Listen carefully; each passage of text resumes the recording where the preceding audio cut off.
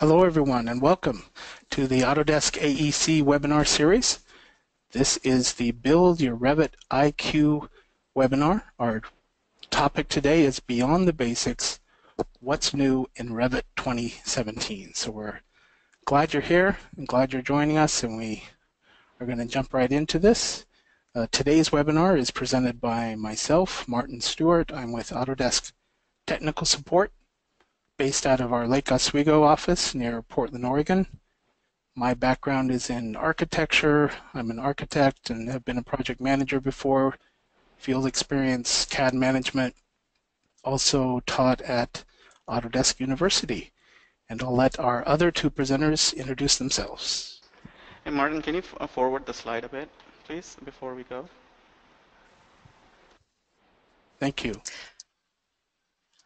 Hi, everyone. This is Judy Stacer. Um, I am an Autodesk Technical Support Specialist, and I support Revit and Navisworks. I have a background in um, Revit MEP support, where I worked in an engineering firm for a number of years, and before that in lighting design. And I'm out of the Boston office, and happy to be here, and happy to have so many of you here with us as well. Hello, my name is Numan Maisarwa. I'm an Autodesk Expert Elite. I'm a consumer uh, on the consumer side, and I will hope I bring uh, some uh, uh, field knowledge back into these webinars. I work as a BIM manager at GBBN Architects Incorporated, and I live in West Chester, Ohio. Today's agenda, we're going to have an introduction to the new series, and then we'll jump into today's topic, What's New in Revit 2017? And we'll have two segments there. Uh, first, we'll cover platform new features with Judy and have some uh, questions for that segment. And then we'll pass it over to Noman for architecture new features. And then we'll wrap up our one hour webinar and any remaining time for some uh, last minute question and answers. But first, we would like to get uh, to know you a little bit better. Just a quick uh, couple of polls here. And let me start the first poll. And our first question is what is your primary focus or discipline? And if you could pick the one that applies to you, we'll give that another moment.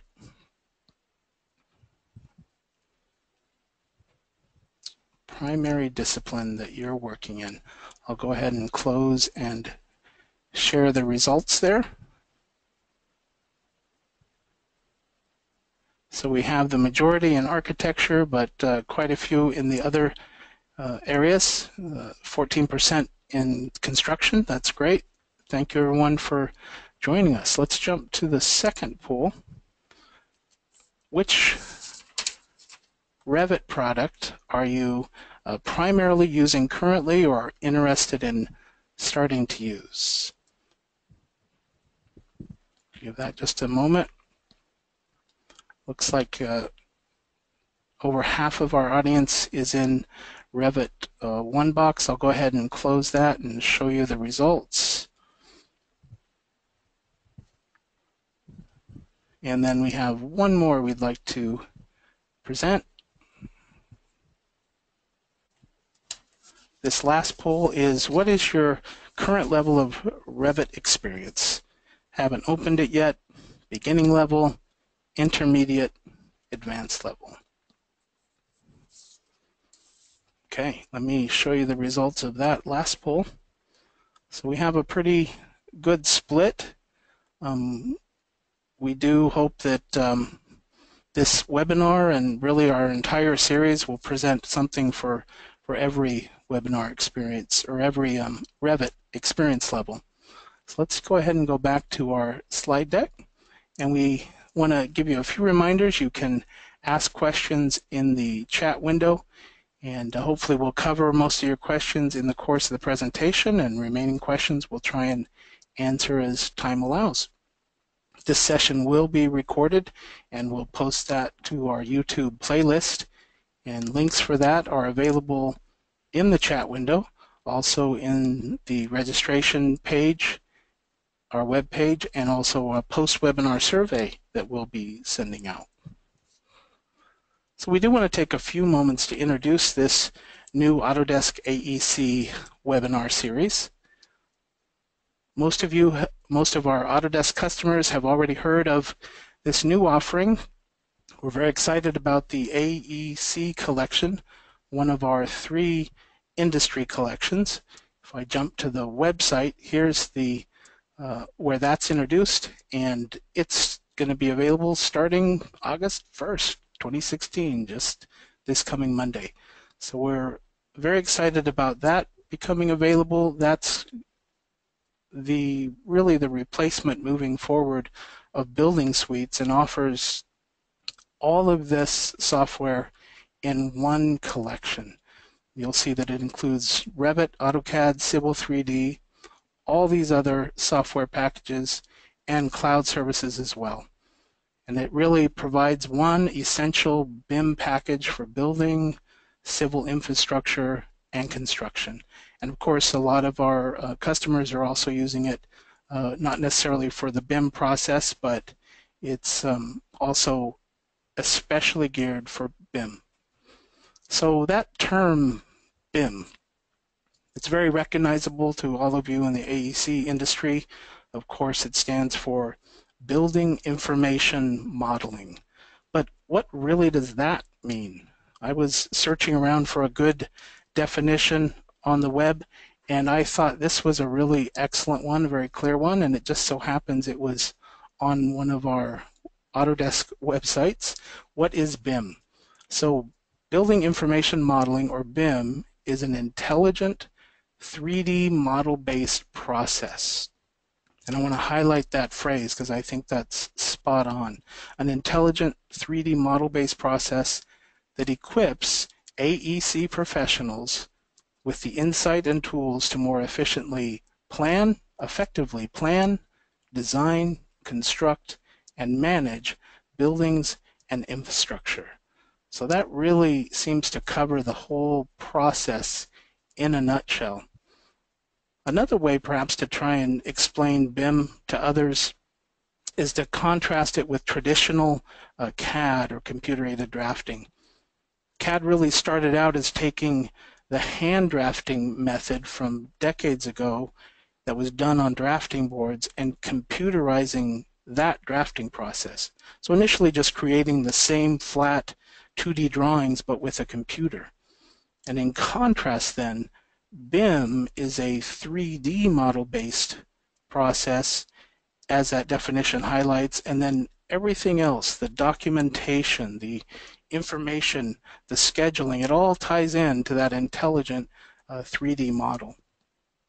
And really, Revit is well known as a, a, foremost BIM tool, an awesome BIM tool.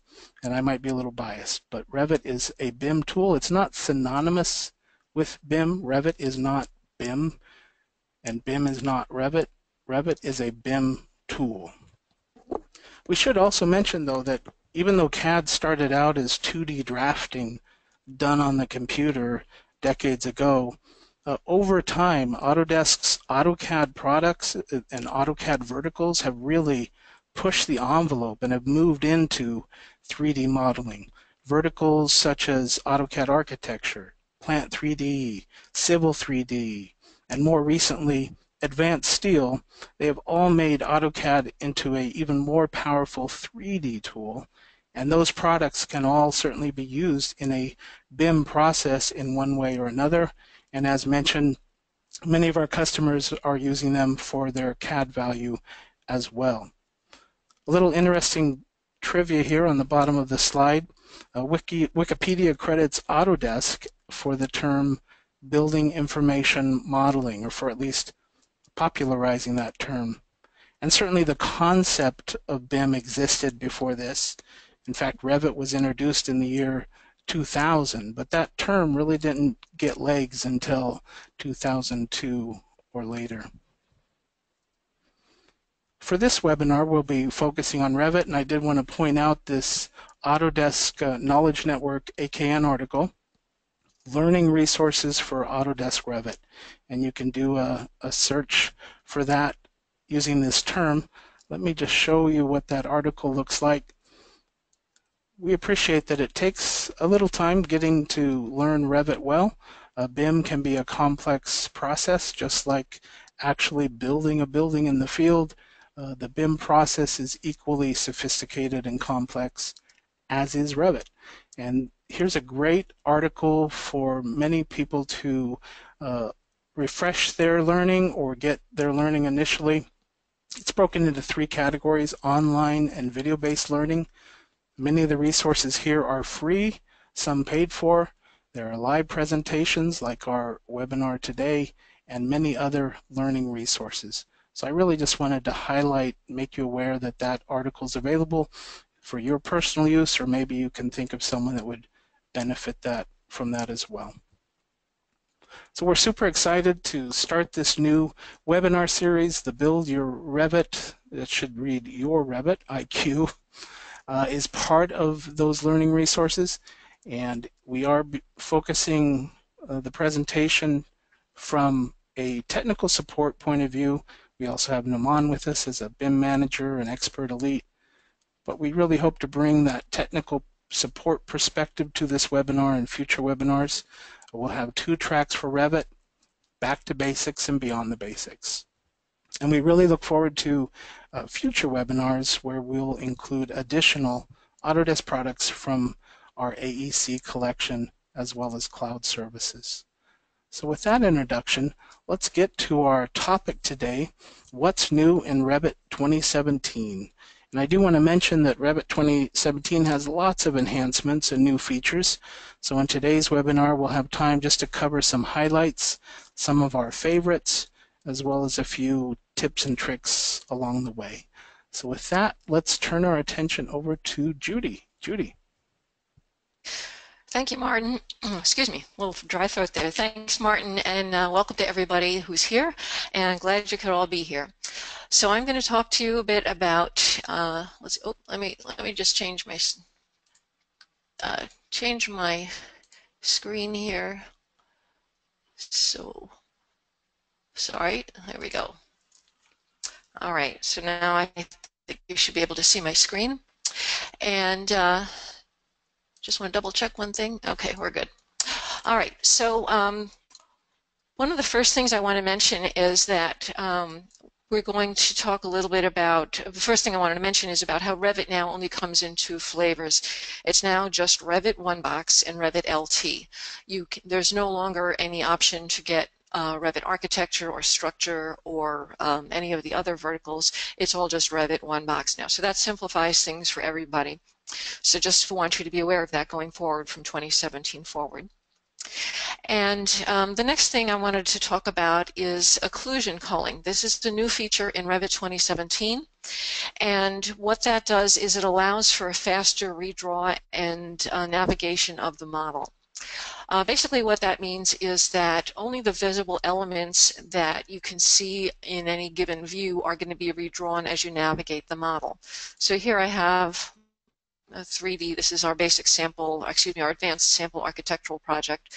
And when you move it around, uh, what Revit will do behind the scenes is it will not regenerate all the items that are inside the building that you can't see from this view. For example, there's plenty of desks and sinks and all kinds of other fixtures and items inside the building. Previously, Revit would have to regenerate all of that. Now it now can just regenerate the items that you see. And I'll show you where the control is for that. It's under File, Options. It's on by default, so you won't have to think about that if you if you forget about that after this. You go to Graphics. Draw Visible Elements Only is the control that um, turns on what we call occlusion culling. And as I said, that's on by default, so you don't need to do anything about that. Uh, I suppose you could turn it off. I'm not sure why you'd want to. If you want to, that's fine. But uh, your navigation and redraw speed will be noticeably faster if you leave it drawn, uh, turned on as it is here.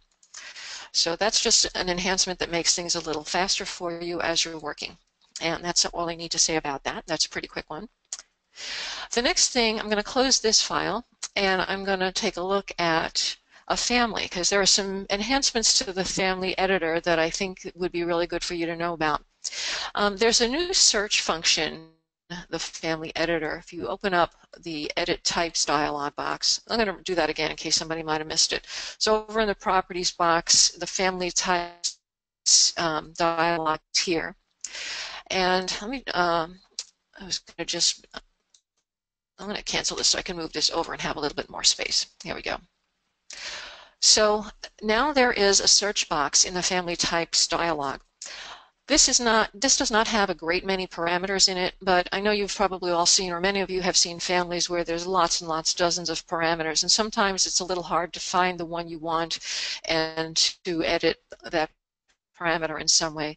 So with, with this search feature, we can type in something like height, H-E-I-G-H-T, and Revit automatically filters out everything but parameters that have height in their name or in their value someplace. And you may notice that um, I type in height with a small h. Um, unlike the parameters themselves, the search function is not case sensitive, so you don't have to make sure to type in a capital letter if the parameter has a capital letter. Then if I get rid of that height, let's say I want to look at um, cabinet, or let's see, I'm going to try handles.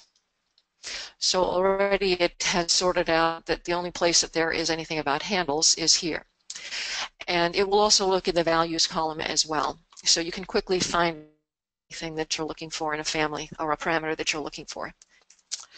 So I'm going to cancel out of that search.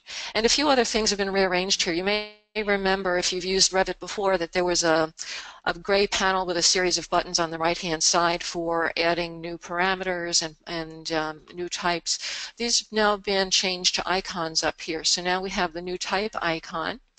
And when you click that, it's going to duplicate whatever type is active in your um, in the family types dialog. So if you have, let's say you have, um, uh, you want to make another type that is similar to the 24 inch type, or maybe to the 30 inch. Let's choose the 30 inch.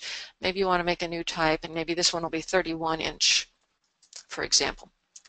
And then all of the parameter values that were active for the 30 inch type will be captured for the new type and then you can edit the ones that you need to update it to make it um, the, the uh, exact dimensions or features that you want for it.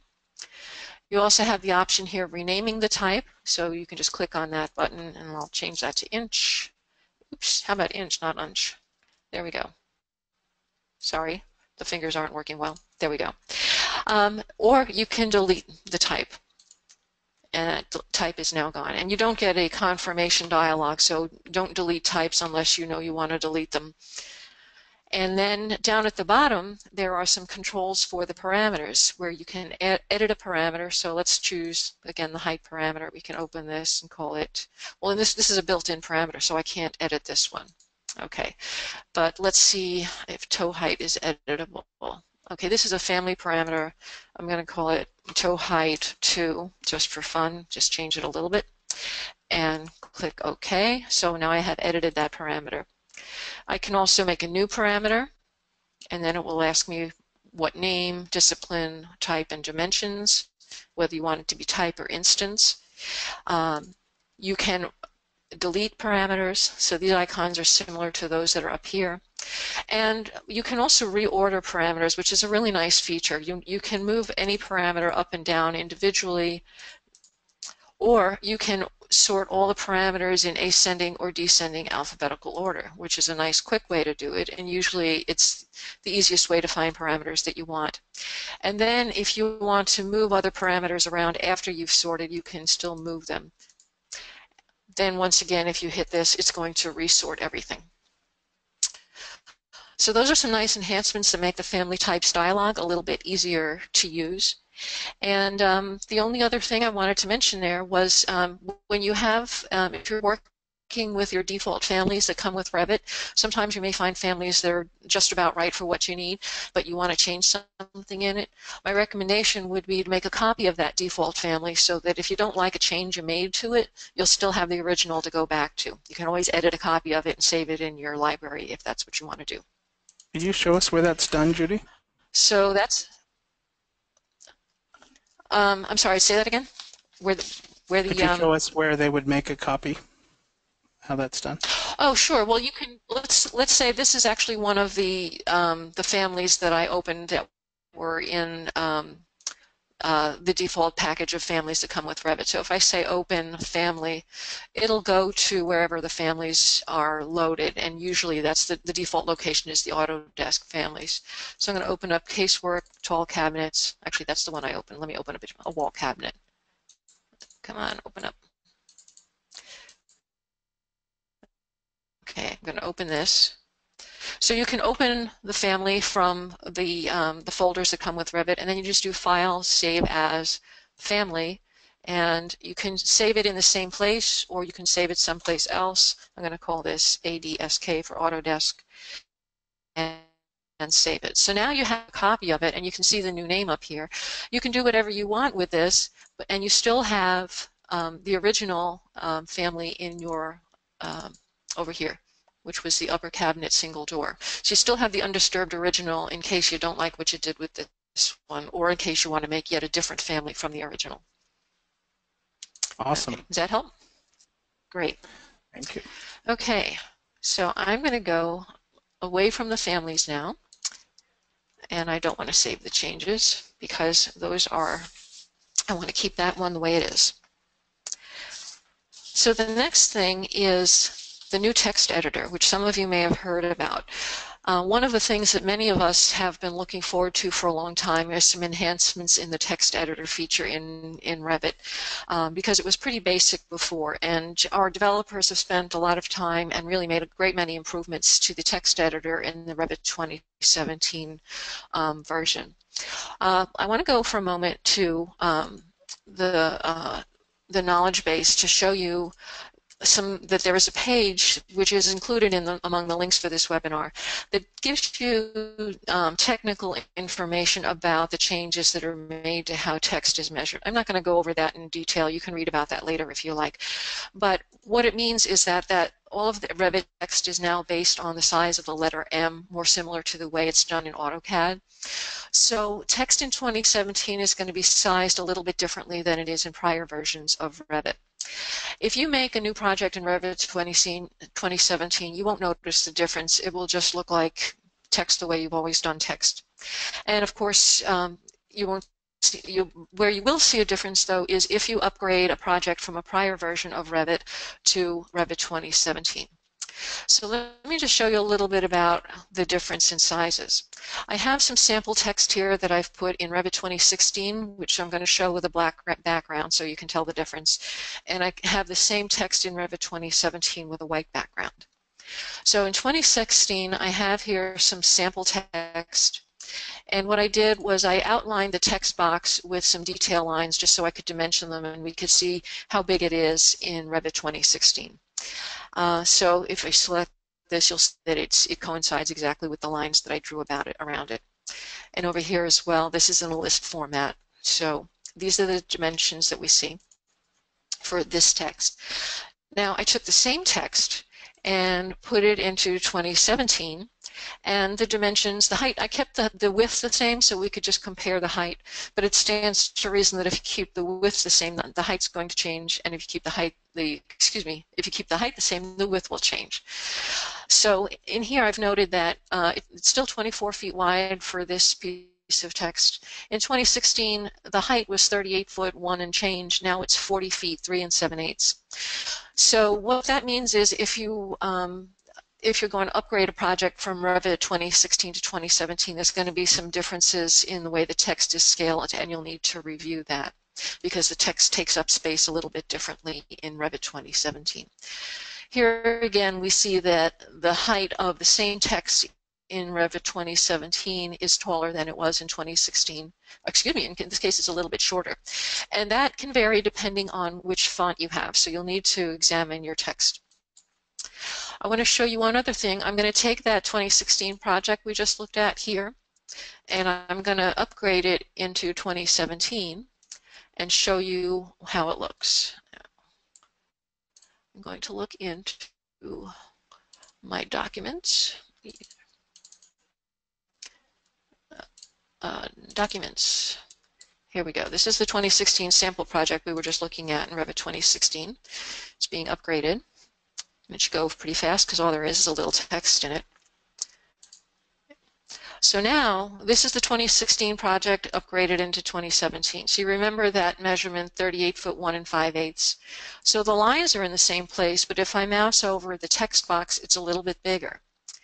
And that may, may or may not matter to you. It depends on how much text you have, how it's formatted, and what other model objects may be nearby. And over here, the difference, I'm going to zoom in a little bit, the difference is less in this case, but there is still some difference and that may be significant depending on where exactly that text is. So one of the things that I'd like to suggest is, um, I know everyone who's got 2017 is, you know, really looking forward to using it with the new features.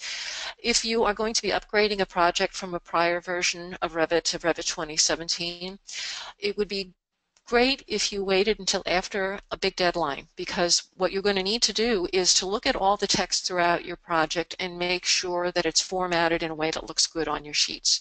Um, if you have two text boxes that are one right above the other, you might see text running into the second text box. So, and that's going to take some time because you probably have a lot of text on a lot of sheets, especially if, if it's a project that's nearing completion. So um, it would be useful to wait if you can until after a big deadline to upgrade your project into 2017 so that you do have that time to do those changes. And also you're going to want to do that, remember, if you have any um, project templates that you're upgrading, you'll want to make sure that you review all the text that you might have in your title blocks and elsewhere to make sure that uh, your new 2017 version of your project template looks terrific. So that's some of the, um, one of the big things about text in Revit 2017. I'm going to go back here, oops, excuse me, here to 2017. I'm going to close the 2016 sample project and just stay in 2017 now. So um, one of the, I'm happy to tell you that the number one text complaint has been fixed. Uh, you may remember that in 2016, um, if you zoomed out and tried to edit and went away from it and then zoomed back in, your text would rewrap and you would have something like this happening. It wouldn't look like the way it did before, which was very annoying to a lot of people for obvious reasons. That feature has been fixed in Revit 2017, so no matter how far out we, we zoom and then get out of the edit mode, your text will stay put. So that's a very nice new improvement. So we hope you're all going to be enjoying that. Um, it also has added the number one text request, and that is using Shift-Enter to place a space in the text. So if I go in here and click Edit, and let's say I want to put a space in here, I press Shift-Enter, oh, and there I have a space in my paragraph or wherever else I want it. So this really is a nice thing. You don't need separate text boxes to get a space in, in your text. Okay. Um, few other things. People always wanted to know, well, why can't I use Escape to get out of editing my text and keep what I what changes I made? Well, now you have that option. So now I'm going to, let's see, I'm going to delete that space. I'm going to press the Escape key and now it says, do you want to keep the changes in your text note? So you now have the option of using escape to maintain the changes that you made, or you can say, no, I don't want to keep them. I'm going to go back to that space or whatever it was I had before then. So you've got multiple ways now of getting out of text editing. You can use escape. You can click outside the, um, the text box as you always have been able to. And now you may have noticed we have a nice new text editing ribbon that wasn't uh, available previously. There is a closed text editor button, so that's your third way you can get out of this editor. So I just wanted to point that out. And there are a number of new tools. Let's say you were hurrying along, typing something, and then you realize, oh no, I was supposed to put this all in capital letters. You can just press this button and switch from sentence case to all caps or back again if you wish. So it's really nice. You don't have to worry about if you set that up correctly to begin with. You can make that change after the text has been typed. There's also a great feature that allows you to increase or decrease indent. Uh, so I'm going to go over here and let's say I want to do something, I want to, uh, let's see, I want to have this at a deeper level. So I'm going to select these bullet points, use increase indent, and now it's using the order of the, um, um, the listing to change the bullets to numbers where it's indented more. And I can further, oops, let's, let me get this. I can indent that more if I like, and again, it will change the hierarchy of the uh, numbering for you automatically. You also can decrease the indent. So your editing tools and formatting tools are really easy to use and you don't have to figure out the, the formatting ahead of time. You can just select what you want and click the buttons to move editing around or to move the spacing around. Incidentally, um, one thing that you might like to know is, you know, this is a narrow list and my indents look pretty big. Well, the way to fix that is actually not a feature of the new text editor, but it's a feature of the text type, but I'll take a moment to show you that. So I've selected this text, it's 330 seconds Arial, and I don't want such a wide tab size. I'm going to change that to a quarter inch. Click apply, and now you can see that I have a much nicer looking indent. So you can change that as needed in the uh, text type properties. Um, also, all of your text is visible while editing now, so that's a nice thing. Sometimes it was not before. The text will wrap and scroll as you expect and scale, so that's very nice uh, feature that's been added to this. And um, another thing that you can do uh, that has been added, it's uh, been a very nice feature, is if you can now put in a leader with no text. So let's say I type TX, that's a little shortcut, a keyboard shortcut for writing text. I'm going to choose um, a one segment uh, uh, leader on my text. I'm going to draw my leader here. And now I can leave that text box blank and I'm going to hit escape just to see to show you again. Yes, I want to keep those changes. So now I have a leader it's a, it's an empty text box with a leader basically. So now that's allowed and you can make a leader and put it wherever you want if you want to draw a line from something to something else without having to fake it by putting a period in there. So um, those are the main new features that I wanted to tell you about for the text editor, and um, I hope you enjoy using it and enjoy the improvements. Uh, we do invite your feedback. If you have any feedback on features in the text editor, or if you run into any problems, if something's not working as you expect, please do let us know. I believe they're considering additional enhancements to the text editor for future versions of Revit. Um, but we hope you enjoy using the ones that are available now in 2017, and keep us keep in touch with us if you have any ideas ideas or um, issues with the text editor. And thank you very much. I'm going to switch over now to Martin and let him take over. Thanks, Judy. That was excellent. Um, it was also mentioned that as far as saving a copy of a family, there was also an opportunity when you edit type to go ahead and duplicate that family before you start editing, and that's uh, very similar to the save as option. So that's another way to get at saving a copy of a family. Exactly. And then, um, real quick, for those uh, who have several projects in like 2016, they're going to meet their deadlines like you recommended. But when it comes time to upgrade, do we have any uh, general recommendations on process when they go to upgrade as far as backups and, and checking the results? What would you recommend? That's a great question, and I think one thing I would I would do is make a separate uh, another copy of your current model in 2016 in another folder someplace, so that if you should if you run into any problems with the upgrade or for any reason you want to go back to 2016, you have a good clean copy of your model as you know, the, like you finished it at the end of today, and tomorrow you're going to go to 2017. So you want to keep an archive copy of that model somewhere on your server, not in your central model folder. And then you can upgrade the copy that's where you keep your central model so that's that's something you can do. And it's not a bad idea to use the audit box to check the audit box when you're upgrading a model because if there's any little errors in the project, um, that's a great time to get them corrected before you go into the new version of Revit. Excellent. Well, thanks again, Judy, for highlighting some uh, platform new features in Revit 2017. Let's go ahead and move into our second segment, and this will be presented by Noman, and he'll cover architectural new features in Revit 2017.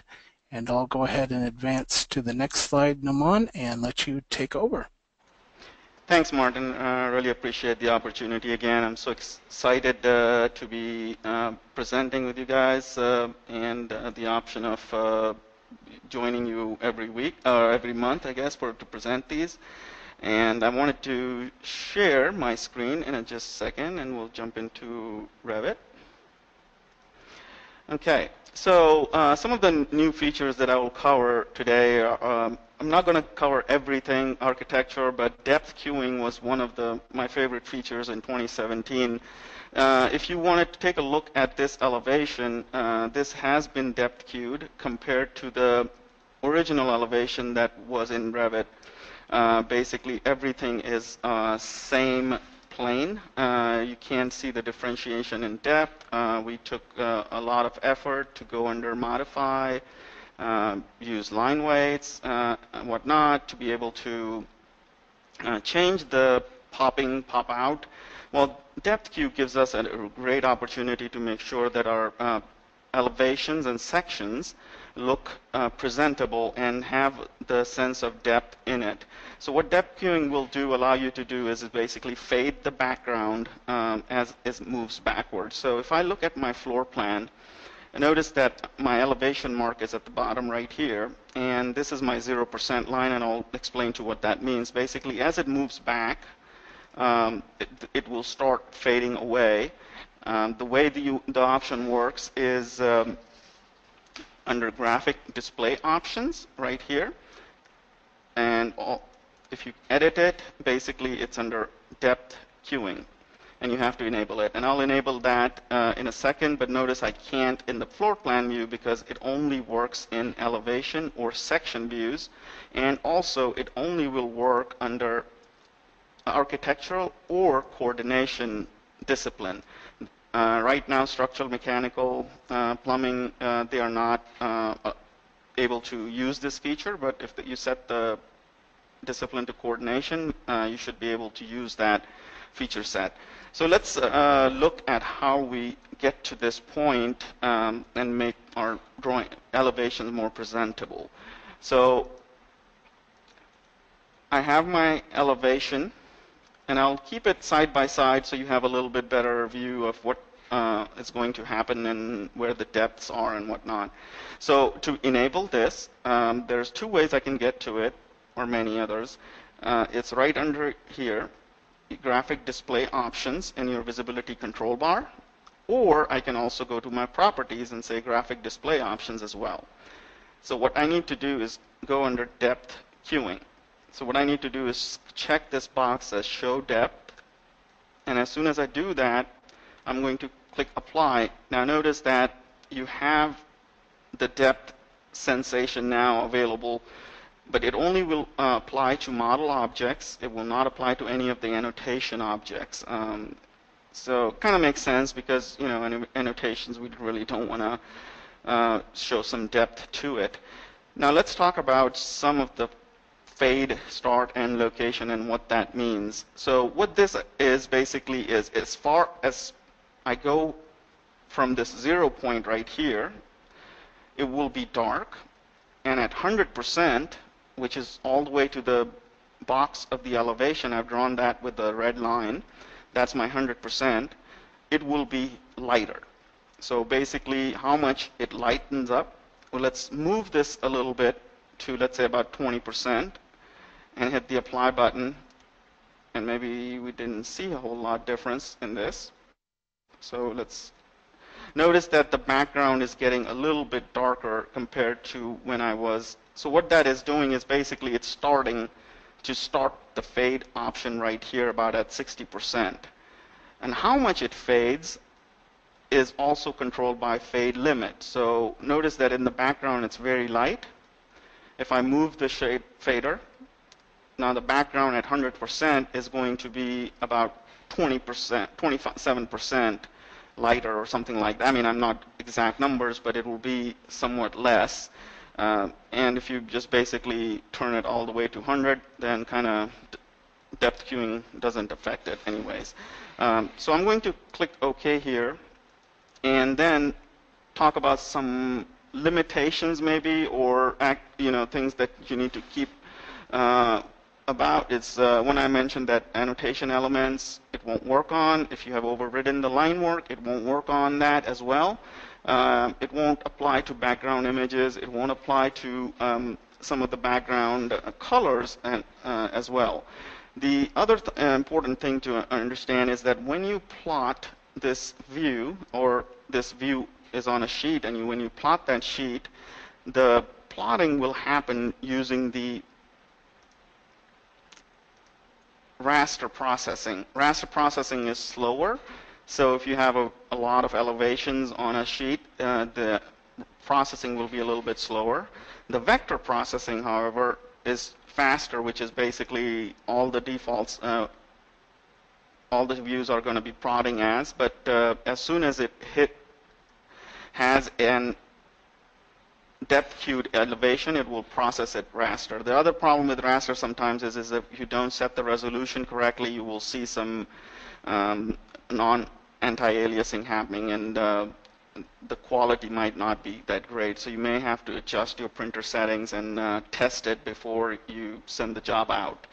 So um, I hope this was, uh, I mean, this was like a, the dream come true for me as an architect. Um, and um, let's talk about some other um, info about uh, how depth you can use this. I mean, I've in my practice, what I have done is I use view templates a lot. So what I do is, is basically create another elevation type.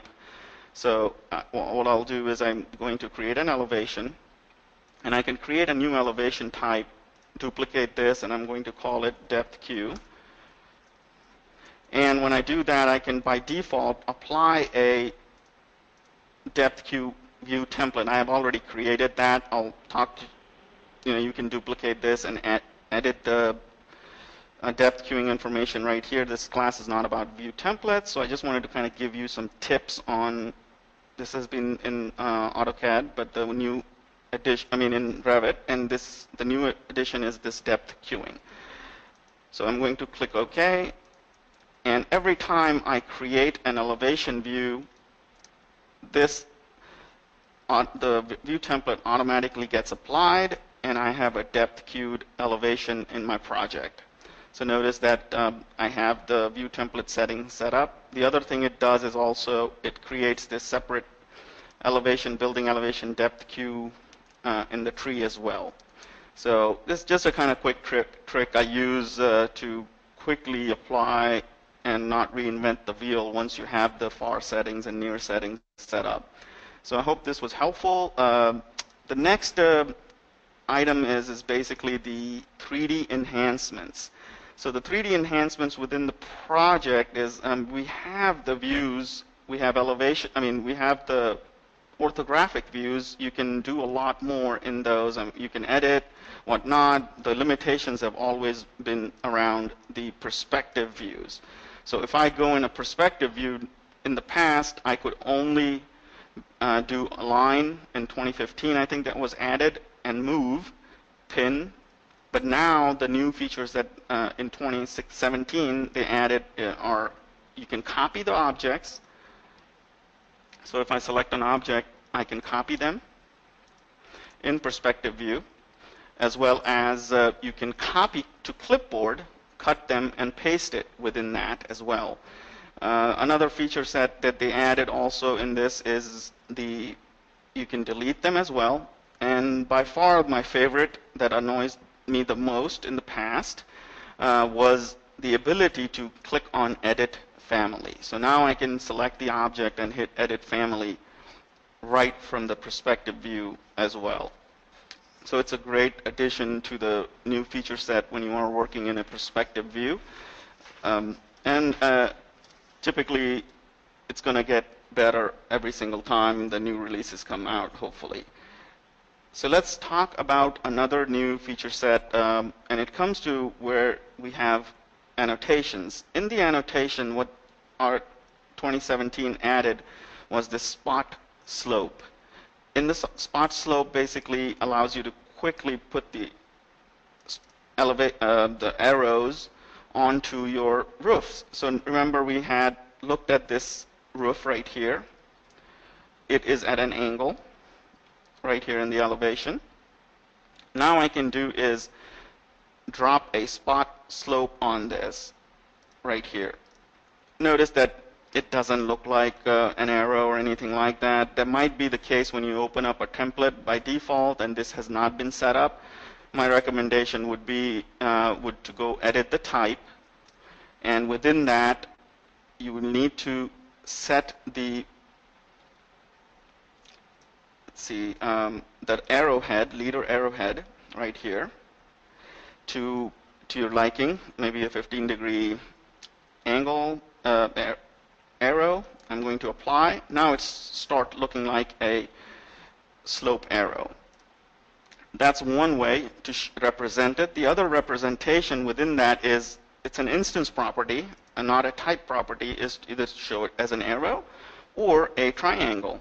So you can show it as a triangle, but well, this is 15 degrees. The 15 degrees doesn't help me too much. So I can edit the type again and go to unit formatting and di- disconnect it from the project settings. And here I can show rise over run, ratio, however your standards are within your office. In the US here, it's usually like rise over 12, 12 inches. Or, and we're going to click OK, hit the apply. Now you can see the 3 over 12 is the slope of this roof.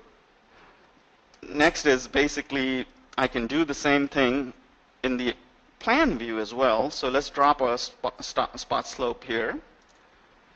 And notice that it will pick the slope automatically very quickly on the roofs. So I, I really love this feature. Makes it so much easier. I don't have any fancy families anymore for the animation with the arrow. And then this text is, it's a tag basically and uh, it pulls the data from the roof. So if the roof changes, this is dynamic as opposed to in the past when we had to type it in, and then if things changed, um, there was a coordination issue. Now it's picking the objects up directly from the roof itself. Um, there are um, other um, things that have been added to this. Um, one other one that my favorite is the uh, railings. So let's go to a 3D view to kind of view this um, feature as such. So I just basically, this is the basic sample file, uh, which is base available under the open sample files. If you go to the menu, you can open the Revit Advanced Sample Project. If you want this curved roof itself, uh, the data set is available in the box link that we posted uh, at the beginning of this, and as well as it'll be in the follow-up emails as well. So what I'll do is I'm going to show you, in the past, the problem was you could not have the railing go on a roof, on a top of an, a wall, on the edge of a, a, slab, things like that. But now you are able to do that. And uh, the other thing it does is it, it basically allows you to follow the form of the shape itself that it's hosted on. So let's do that. It's my under my architecture tab. I'm going to do railing, railing, sketch path. And within that, I need to pick where it's going to be. So first, I'm going to pick the host, which is my curved roof right here. The next thing I'm going to do is pick the edge of it. So I'm going to use my tab key to pick the edge. Notice when it creates this edge, uh, the railing sketch, it's going to be flat on the ground. So it will you'll see what happens. Uh, it looks flat on the ground right now, but once I finish this, notice that the railing follows the curve of the roof itself. You can do that here. It will apply as well on this angled roof. I'll just repeat that very quickly. Railing by sketch. First, I do pick the host. Then I pick the edge of it. You can sketch it too, and it will automatically do that too, as, as long as the host is there. I just, uh, it makes it easier for me to uh, do it this way. And now it follows that angle of the roof itself. So, I mean, I really love this feature um, within railing. The other a couple things that they added uh, to railing would be the edit type. When I go to edit type, I can now see the preview of the railing itself. But this was, I think, in the past, but the big difference is, is when you go edit the railing, this used to be the dialog box in the past. Um, now, however, you can click on this and click on this preview button, and as soon as you add, remove things like that, or move um, values, it will preview that automatically right here on the screen for you, as opposed to you're shooting it in the dark sometimes, hitting the apply, seeing the result. It's right here, just like the wall as well. And the baluster also have a preview. If you're miss, if you don't see this, just just make sure that you click this preview button and expand this option. And you have a bunch of different ways you can look at the uh, the elevation of the railing and whatnot, so you can easily be able to manipulate it and just see the result live right here inside the editor as opposed to outside in the project. So I really like that uh, as well. Um, now, there are a lot of other features in it. I can't cover everything uh, since I wanted to go in some detail on the other feature sets. So um, the other one of them is basically now Dynamo is included in the package. There is no separate Dynamo as an add-in. Notice that it's not under the add-in. However, it's been moved to the Manage Dynamo section. And uh, also, uh, there is uh, the re- rendering engine has been changed. I'm not going to be able to go in detail or anything like that because it's a topic on its own. The you got about 60 seconds left, Noman. Yep, uh, I know. Uh, my timer just went off. so um, the other rendering is basically the um, the ray tracing engine now, as opposed to in the past the mental ray. Um, you have the FormIt um, exporter available now. You can convert families to uh, FormIt and bring them back in. The one other feature that they added uh, in the keyboard shortcuts is the close. Now close will close using the control W. So if I press control W right now, it will close this file. Rather than trying to close each and every view, you can just hit control W and it closes the file very quickly. Uh, if you want a, a list of all the shortcuts, uh, it's in the box uh, link that we have posted as well. Uh, with that, I think, uh, Martin, I hope I covered um, most everything that I was supposed to cover. That was excellent. Thank you. Nice job. That uh, covered a lot of features, and uh, of course, that's going to be posted to our YouTube link for anyone who would like to review that. So, thank you again, Naman, for presenting some architectural new features in Revit 2017. We would like to share some key references here on Autodesk Knowledge Network. If you download the slide deck from the Box account, all these are linked to some key articles, some helpful articles. For example, uh, additional help webinars you can sign up for, and then also some links to the what's new in the help documentation and review some features that we weren't able to cover in the webinar. And if you check this out, be sure to click uh, New in Revit 2016 R2 as well for additional features that are in 2017 that were previewed in R2. We do want to invite everyone back for our next webinar scheduled for August 24th. At this time, we're planning on presenting back to basics, transitioning from AutoCAD to Revit.